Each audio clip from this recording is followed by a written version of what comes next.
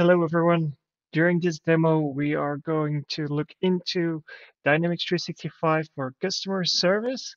And more specifically, we want to look into the feature of entitlements. Uh, an entitlement can be seen as a service contract that you have signed with a specific customer and which translates into uh, the number of cases he's entitled to to be handled within specific pricing that you agreed, for example. So let's have a look at Dynamics 365 for customer service here.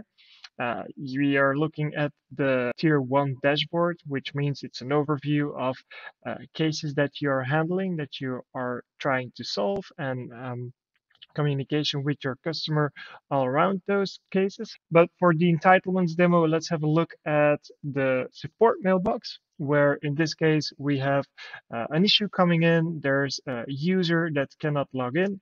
Uh, the email is sent by a person named Rob Hoefschmidt, and Rob Hoefschmidt is someone that we know because he works at Cegeka Business Solutions.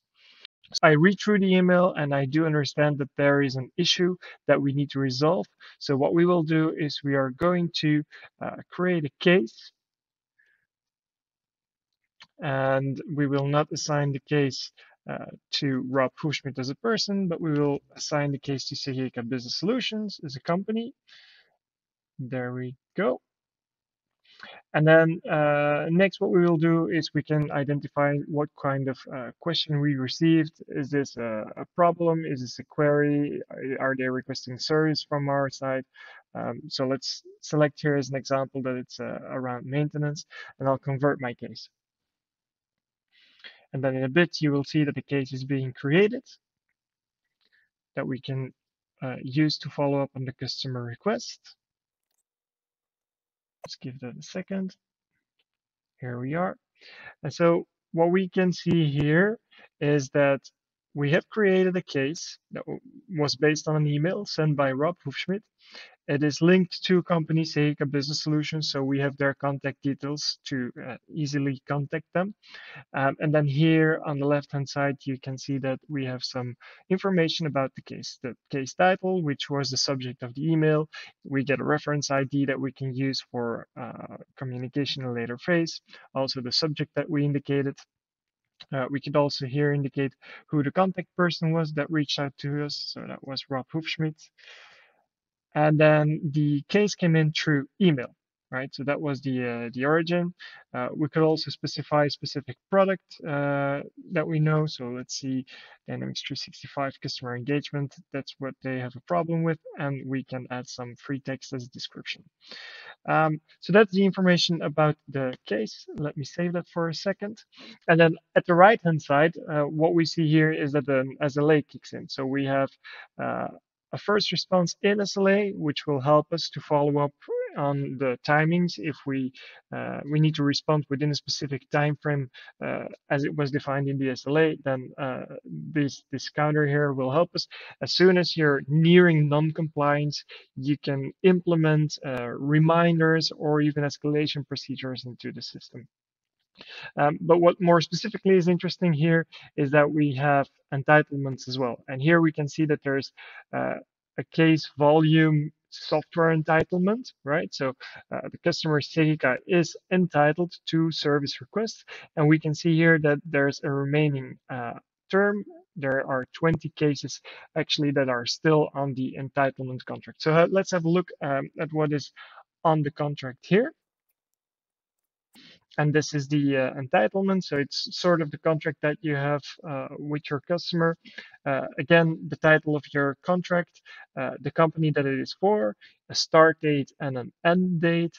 And then um, there is also uh, a condition here that says restrict based on entitlement terms. So that means that if you as a, as a customer um, are out of the number of cases that we can solve for. So here in this case, you're still entitled to 20 uh, cases. Um, once we, we pass that limit, it will not be able to uh, open a ticket anymore for that customer, right? So that's the restriction here. Um, we can also apply uh, different types of SLAs depending on the entitlement. So that means that if you are a high priority customer, uh, a different SLA can kick in and the SLA you uh, define its configuration into the system Um, and then here, the entitlement terms, they define uh, what you're actually entitled to. So here we have uh, entitlement terms regarding cases that can be logged. Um, this entitlement term works uh, on the number of cases that you have. We could also work on the hours spent on cases. So that's a configuration setting that you can have. And then um, the uh, counter here that we have will decrease once we have a, a case that is resolved. So if we identify a case uh, as resolved, then the counter will um, be changed here. We also have some information on the products that we want to give support to, and we also have uh, our primary contact persons, Rob Hufschmidt, uh, who was the guy that just sent us the email. So let's go back to the case so that I can show you also what the effect will be once we uh, resolve a specific case. Uh, so this was the case that I just created about a user that cannot log in. Um, let's just quickly um, simulate a case resolution process where I open a specific email here. I insert a template to let the customer know uh, that we are working on their ticket. So it's the case auto response email that I will send, where we send an email with the reference number that we just created. Send. And then with that, uh, I will have sent my first response. So I can tick that box, first response has been sent and obviously uh, this will show you that my SLA uh, is going to be succeeded here. So that's a good thing. Then next what I need to do is uh, I need to know who I'm speaking with and um, who who I can reach and which company that are logging the case for and who the person needs to contact. So that's something that I've been doing. Uh, and then here we can assign the ticket to a specific uh, agent who needs to resolve the case. Uh, an agent could, for example, make use of a knowledge base article uh, to resolve the case. So in this case, there is a someone who says we have a problem with someone uh, who doesn't have access to the system.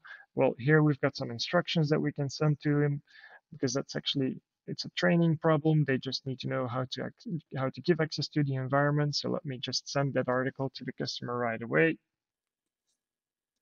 And with that, we have uh, probably resolved our case.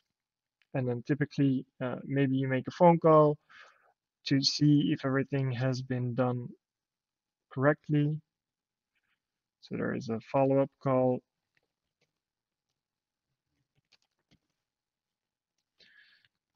Customer said the problem was solved. We can close the case. There we go. And then we can resolve the case. And then with that, um, we should have a resolved case. We can also specify what kind of resolution we gave. It was uh, a knowledge base article Voila. And as you can see, uh, as we resolved the case, on my entitlement, the counter went down. We went from 20 to 19, which means that if we look back at the entitlement here, we can see that the total terms that we had here uh, was set to 20. And because we resolved a specific case, uh, we are right now at a counter of 19. So I think uh, from an entitlements perspective, uh, this is what I wanted to show you. Uh, hopefully it has been insightful and we speak uh, shortly again.